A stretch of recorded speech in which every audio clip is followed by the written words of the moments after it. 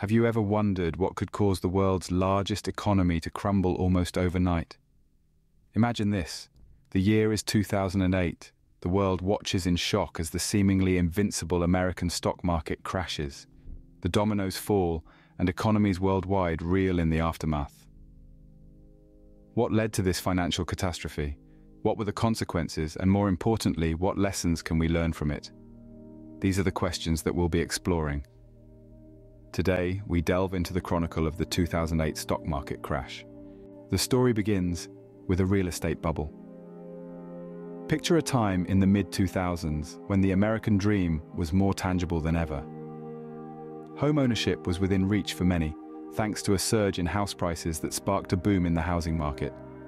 It was an era of excess, of optimism, of belief in the unending upward trajectory of prosperity. Houses were not just homes anymore. They were investments, promising returns that seemed too good to be true. And as we all know, when something seems too good to be true, it usually is. The real estate bubble painted a picture of a thriving economy. It was a time when people were snapping up homes as if they were going out of style. Money was thrown around like confetti, creating a sense of false security that was as intoxicating as it was deceptive. Lenders, fueled by this frenzy, began offering loans to just about anyone with a heartbeat. The criteria for loan approval were relaxed, and many borrowers found themselves holding the keys to their dream homes, blissfully unaware of the financial quicksand they were stepping into. What's more, these risky loans were bundled into financial products known as mortgage-backed securities, which were then sold to investors around the world. These securities were given high ratings by credit rating agencies, further feeding the illusion of security and profitability. But beneath the surface of this booming housing market, a storm was brewing. The rapid increase in house prices was unsustainable, creating a bubble that grew larger and larger with each passing day. Economists and financial pundits warned of the dangers, but their voices were drowned out by the euphoria of the boom. It was a time of recklessness, of unchecked optimism, and of a collective suspension of disbelief. The real estate bubble was a ticking time bomb, growing larger and more unstable with each passing day. And as with any bubble, it was destined to burst. The only question was, when would the explosion occur, and who would be caught in the fallout? But that, dear listeners, is a story for the next scene. Until then, remember, bubbles may be fun to watch, but they can also cause quite a mess when they pop. In 2007, the bubble burst, a phrase that still echoes in the annals of financial history, marking the start of a catastrophic downturn in the global economy. The housing bubble, a monstrous creation of overinflated home prices and reckless lending practices, finally succumbed to the pressure. The collapse was swift, shocking, and utterly devastating. The immediate consequences were starkly apparent. Homeowners across the United States found themselves neck deep in loans they could no longer afford.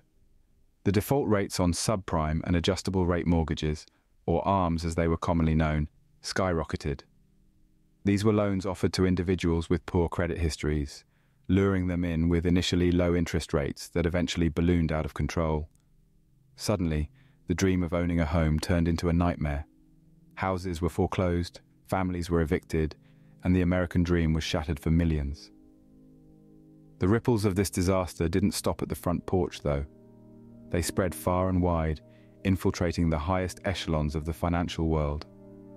Several large financial institutions found themselves in a precarious position. Banks and mortgage companies that had once reveled in the bloated housing market now faced the grim reality of insolvency.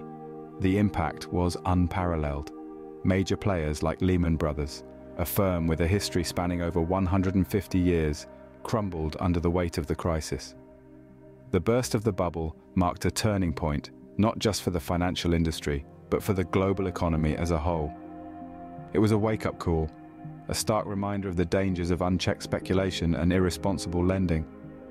But as we all know, the collapse of the housing market and the ensuing financial crisis was not an isolated event. This was just the start of a domino effect. The shockwaves from the burst would continue to reverberate, toppling institutions, crippling economies, and changing the face of finance forever. But that, dear listeners, is a story for the next scene. The collapse of these institutions set off a chain reaction. Picture a row of dominoes. Each domino represents a financial institution. Now imagine the first domino being tipped over. This represents the collapse of one of these major institutions. As it falls, it knocks over the domino next to it, and so on, until every domino has fallen. This is the domino effect, and it's exactly what happened in the 2008 stock market crash. When the initial institutions collapsed, it created a shockwave that rippled through the entire financial system. Banks that had once seemed invincible were now teetering on the brink of collapse. This wasn't just a few isolated incidents. This was a systemic problem, a disease that was infecting the entire financial market. And here's the thing about the financial market, it's all about confidence.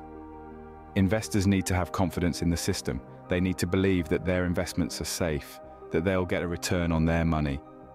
But when these institutions began to fall, that confidence was shattered. There was a crisis of confidence, and it spread like wildfire. Suddenly everyone was selling. No one wanted to hold onto their stocks, not when the future was so uncertain. The result was a sharp drop in stock prices, a drop that seemed to have no end in sight. The more prices fell, the more people sold, and the more they sold, the further prices fell. It was a vicious cycle, a downward spiral that seemed impossible to escape. The stock market, which had once been a symbol of prosperity and success, was now a symbol of failure and despair. The domino effect had taken hold, and there was no stopping it. The financial system was in freefall, and there was nothing anyone could do to stop it. In a blink, trillions of dollars were wiped off the stock market. It was a disaster of epic proportions, a crash that would go down in history as one of the most devastating in modern times. And it all started with a single domino. The government had to intervene. In the midst of the 2008 financial crisis, as the dominoes of financial institutions began to topple, the United States government found itself in an unprecedented situation. The economy was on the brink of collapse, and without swift and decisive action, the consequences would have been catastrophic. The solution? A bailout. The government's response to the crisis was the Emergency Economic Stabilization Act of 2008. This act was a daring and contentious move designed to provide a lifeline to the financial sector, which was teetering on the edge of disaster. So, what did this Emergency Economic Stabilization Act entail? In essence, it provided a staggering $700 billion to the financial sector. Yes, you heard that right. 700 billion. The gravity of the crisis was such that a figure of this magnitude was deemed necessary to prevent total economic meltdown.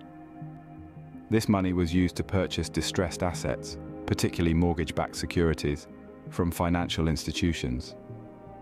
The logic was simple. By removing these toxic assets from the balance sheets of banks, it would stabilize them and by extension the economy. But as you can imagine, this act was not without controversy. Critics argued that it was essentially a reward for the risky behavior of the financial institutions that had led to the crisis in the first place. Why should taxpayers foot the bill for the mistakes of Wall Street, they asked. On the other hand, proponents of the act argued that it was not about saving Wall Street, but about saving Main Street. The potential fallout from a total collapse of the financial sector would have been devastating for ordinary people, from job losses to a complete freeze on credit. In the end, the bailout was a bitter pill to swallow, but one deemed necessary to stave off an even greater disaster. It was a high-stakes gamble that, despite its controversy, helped stabilize an economy in free fall. The bailout was a controversial but necessary measure. The 2008 crash had long-lasting effects. It was a seismic event that shook the global economy to its very core. It not only decimated investment portfolios, but it also left a lasting impression on the world that went far beyond just Wall Street. Unemployment rates soared in the wake of the crash. Jobs disappeared as businesses struggled to stay afloat amid a sea of financial uncertainty. People from every walk of life found themselves without work, their livelihoods swept away in the tidal wave of the economic downturn. The jobless rate in the United States climbed to 10%, a level unseen since the early 1980s. As unemployment rose, consumer spending inevitably fell. With less money to spend and a bleak economic outlook, people tightened their belts. They cut back on non-essential purchases and focused on making ends meet. This decline in consumer spending further deepened the recession, creating a vicious cycle that was hard to break. The recovery from the 2008 crash was not a quick one. It was slow and painstaking, The global economy had taken a serious blow, and it took time to heal. It was a period of economic convalescence, characterized by slow growth and high unemployment. Even a decade later, the scars of the crash were still visible. The aftermath of the 2008 crash was a stark illustration of how interconnected the global economy is. It showed us that what happens on Wall Street doesn't just stay on Wall Street, it reverberates around the world. The crash was a wake up call, a stark reminder that the financial system is not invincible. The financial crisis of 2008 was a pivotal moment in history. It altered the economic landscape and changed how we view the financial system. It was a time of hardship and struggle, but it was also a time of learning and growth. It forced us to take a hard look at the financial system and question its vulnerabilities. The 2008 crash was a sobering reminder of the risks inherent in the financial system. It taught us that even the mightiest can fall, and that we must always be prepared for the unexpected. Every cloud has a silver lining. Indeed, the dark cloud of the 2008 stock market crash did have a few. The crash was a wake-up call, a stark reminder of the importance of financial literacy, the need for better regulation, and the role of risk management. Let's start with financial literacy. The crash highlighted that a basic understanding of finances is not just for bankers or traders, it's for everyone. It's about knowing how markets work, how investments grow, and how to protect ourselves when they don't. It's about understanding that high returns often come with high risks. It's about knowing that if something sounds too good to be true, it probably is. The crash taught us that financial literacy is not a luxury, but a necessity. Next, we come to regulation. The crash was a stark reminder that the invisible hand of the market is not always benign. It showed us that without proper oversight, financial institutions can engage in risky behavior, often with catastrophic consequences. The crash led to the implementation of stricter regulations, aimed at preventing a recurrence. It underlined the importance of having checks and balances in place, of having a system that can identify red flags and take corrective action before it's too late. Finally, there's risk management. The crash was a brutal lesson in the dangers of over-leveraging and over-speculation. It taught us that risk management is not just about maximizing profits, but about minimizing losses. It's about having a balanced portfolio, one that can withstand market fluctuations. It's about knowing when to hold, when to fold, and when to walk away. The 2008 crash taught us valuable lessons, lessons we must not forget. Because the most important lesson of all is this. History, especially financial history, has a tendency to repeat itself. And the only way to break this cycle is to learn from our past, to take these lessons to heart, and to ensure that we don't repeat the same mistakes. Knowledge is power. As we've journeyed through the events of the 2008 stock market crash, it's become abundantly clear that understanding financial matters is not a luxury, but a necessity. But the real question is, where do we start? Where can we find the resources that will enable us to understand the dynamics of the stock market the ebb and flow of finance. It may seem like a daunting task, especially if you're new to the world of finance. But remember, every expert was once a beginner. We all have to start somewhere. And the first step is always education. There are countless resources out there that can help you get started on your financial literacy journey.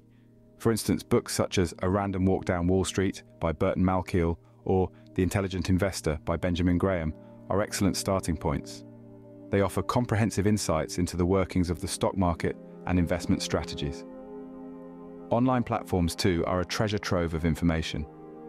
Websites like Investopedia offer free detailed explanations of financial terms and concepts, while blogs like The Balance provide practical advice on personal finance and investing. There are also a plethora of podcasts and YouTube channels dedicated to finance and investing, providing a more engaging and interactive way to learn. In addition to self-education, consider enrolling in finance courses or attending financial seminars. Universities and colleges often offer these, and many are available online. Here, you'll have the opportunity to learn from professionals in the field, ask questions, and even network with like-minded individuals. Now this might all seem overwhelming, and that's okay. The important thing is to start. Choose one book, one website, one course, and take it one step at a time. Remember, Rome wasn't built in a day, and let's not forget the importance of staying informed. Keep an eye on the news, follow financial markets, observe economic trends. The more you immerse yourself in the world of finance, the better you'll understand it. So, let's take this knowledge we've gained from exploring the 2008 crash, from understanding its causes to its effects, and use it as a stepping stone. Let's use it to fuel our quest for financial literacy, to make informed decisions, and to safeguard ourselves from future financial downturns. Stay informed, stay vigilant, and remember, the more you know, the better you can navigate the financial world.